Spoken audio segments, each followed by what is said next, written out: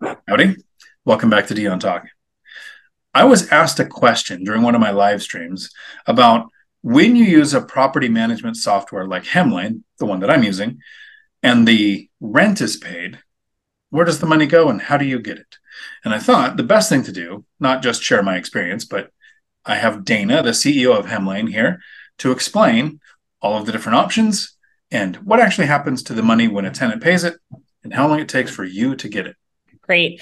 I love this question, and here is why.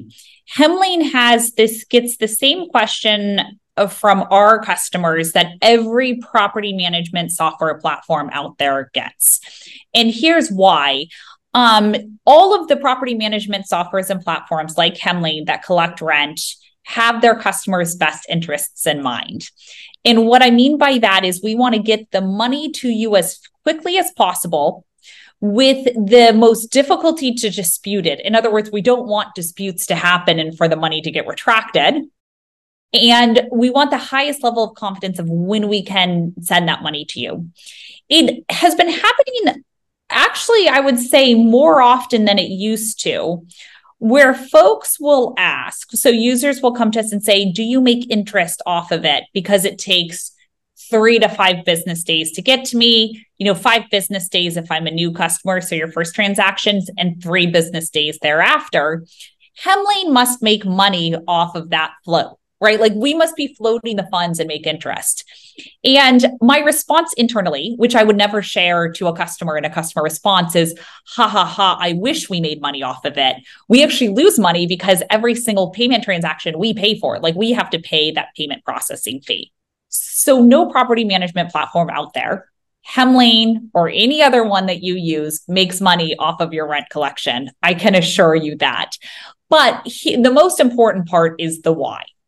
So, to back up and kind of talk about payment processing, the safest way to send money because wire transfers are expensive like if you were to do a wire transfer you know even your bank charges 25 to 30 dollars it has to be through the bank we can't do that, right? So the safest way to do it is called ACH. ACH is the automatic clearinghouse and it takes money from one bank account and sends it to another bank account. And the beauty of ACH is it works with every bank. So, like, for example, Zelle doesn't work with every bank. Um, but ACH does. And so it, the beauty of that is like, it doesn't matter what credit union that no one has ever heard of that your tenant uses, ACH still works. The other thing that people love about ACH transactions and why it's the best way to transfer rent is that is nearly impossible to dispute.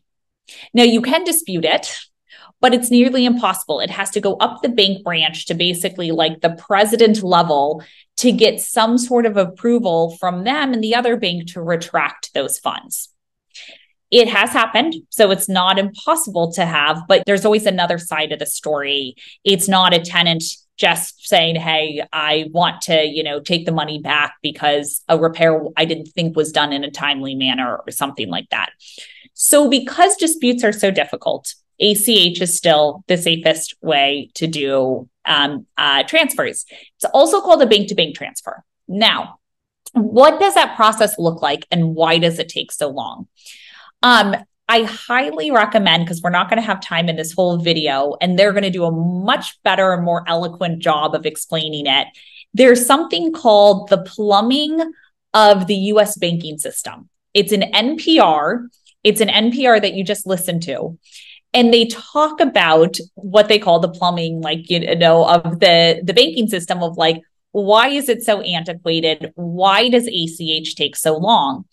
And there are a couple of key points in that NPR. One of the key points that they bring up with it is that ACH, it's just like wire transfers. You know, wire transfers are like cut off on a certain date. It's the same thing with ACH. Like it's weekends, it doesn't work. It will not deposit funds into your bank account on weekends. And you're like, why not? We all work you know 24 7 staff people seven days of the week at hemlane you would think that the banking system cannot but even their systems are not set up to run on weekends. There's like the, all everything about it has not been done well.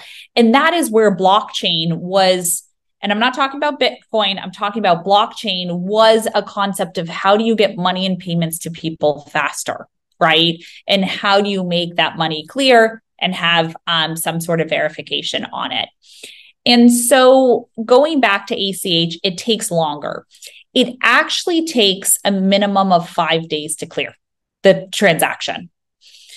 Customers don't care about that. Customers care about, I have my phone on me. I want everything right now. Why can't you get the money to me right now?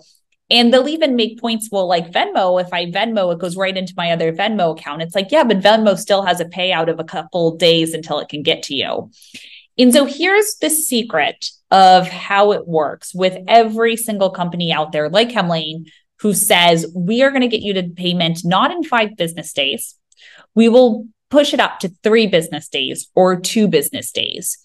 We are doing a huge algorithm on the back end to say, how likely is this payment to clear? And what we can do is know how much money from the tenant is processing, how much was in their bank account from that sync like do we have the funds or will it fail due to insufficient funds? In other words they don't have enough funds. And if there's a high level of confidence over 99% that this payment will clear we will push it out to you sooner so we will push it out even before the bank has told us that it has cleared and if you talk to the banks in ACH, they will say no, the funds will not clear until five business days. But of course, if we were to tell our customer that, think of what a customer would say. What? Why why does it take so long? And so that's something that all of these tech companies have been doing to get those funds to you faster. Of course, there's fraud is huge. Um, we shut down a lot of fraudulent accounts. And so what we end up doing is verifying customers and slowing down that first payment for verification. And we do a huge security process that you have no idea it's all going on in the back end to make sure that we have a confidence. And then once we do your second, third, fourth, fifth payment, we're still doing some fraud detection in the background, but it's not as slow. Um, so that's a little bit about ACH. Now, a lot of platforms like Hemlane will also do credit and debit card transactions. I am not a fan of either one. The reason is is they're so easy to dispute. If you've ever called your credit card company, and if you haven't, you know, you can do it now and see how easy it is. And my credit card got um, stolen. Oh no, your credit card got stolen. You have these last five transactions are any of them you know um, yours? No those must have been from someone stealing it. I am so sorry ma'am. Your money is back into your bank account. And just like that they get disputed. When that happens hemlane represents the landlords so the real estate investor to defend them and say no here's the legally binding contract. Here's everything else.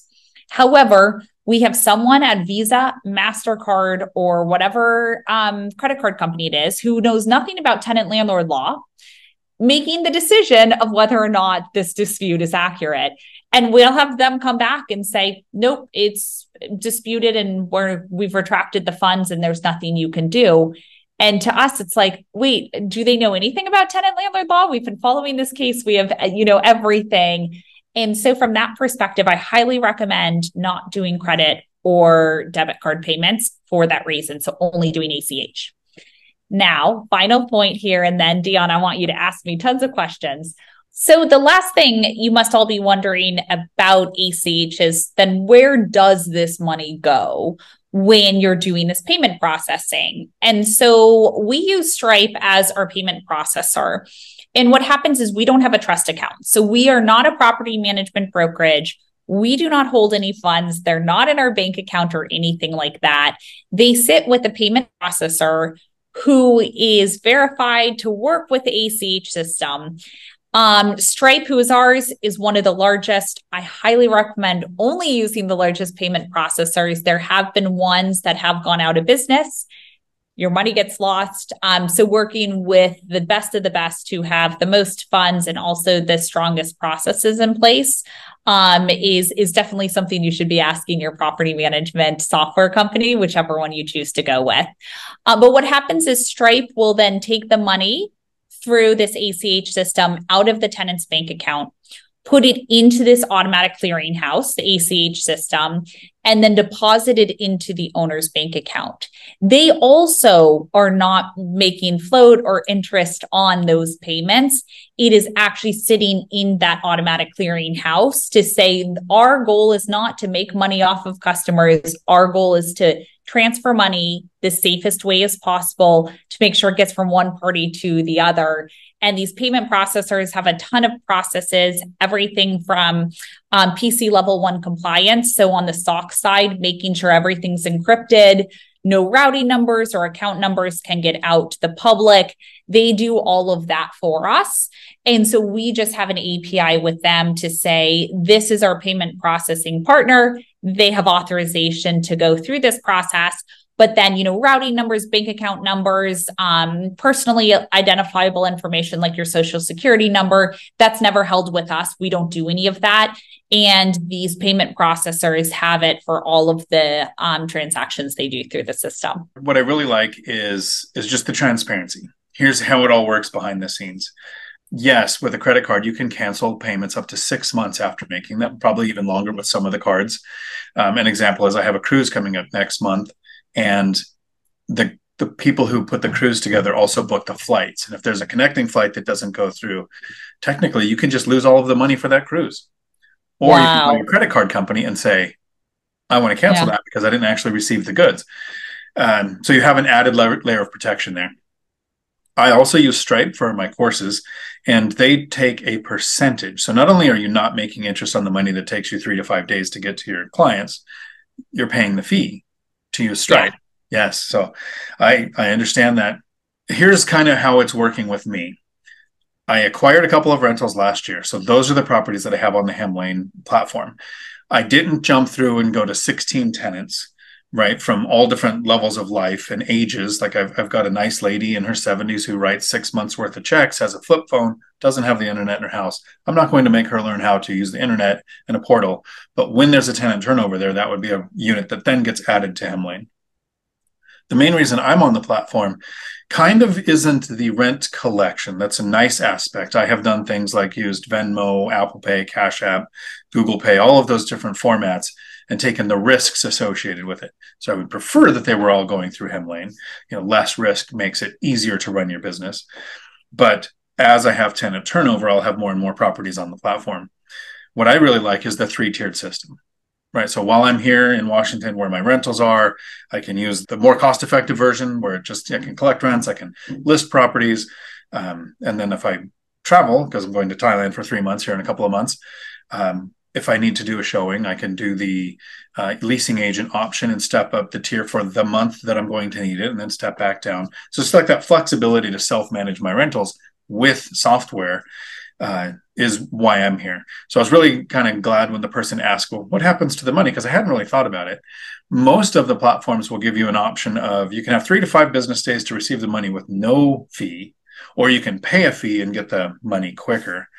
Um, if you're running a business where you need to pay a fee to get your money quicker, I think you need to have better margins, higher reserves, kind of like the situation with any landlord. I don't think you should ever be in the situation where you're waiting to pay the mortgage until the rent comes in. Right? You should yeah. have several months worth of that mortgage in an account where the mortgage can be paid and the rent can come in without you ever having to worry about which order that happened in, or you can quickly find yourself in a lot of trouble. Well, thank you for clearing that up, um, Dana. I, I, appreciate it. Um, so the to, to wrap up, the tenants can pay through the portal. There isn't a fee for the landlord or the owner of the property to get the funds in less than five days. It's somewhere between three and five days, right? Yeah, so there's no fee to the owner, there's no fee to the tenant. So we incur that fee for the ACH. So some some platforms and actually most of them I see these days will start charging the landlord or the tenant a fee to pay online. Um, for us, no, we incur that fee. And so we act on behalf of all of our owners, more owners on the platform, better pricing from Stripe, but we incur that fee ourselves. And then um, the only time someone does have to pay is if it's a credit card fee. And then again, that goes to Stripe and, and Visa and MasterCard and stuff like that. But if it's ACH, it's not. And um, the final point I'll leave you with on the ACH side is you're right, it's five business days, it goes down. So as you spend more time on Hemlane, you'll see those funds get to you faster, sometimes within one business day. Um, so it's building up your reputation on Hemlane as a verified, non fraudulent actor on the internet. Awesome. So if you want to try Hemlane as a property management software, you can actually go to hemlane.com. You can use the code word Dion Talk to get 20% off your first year.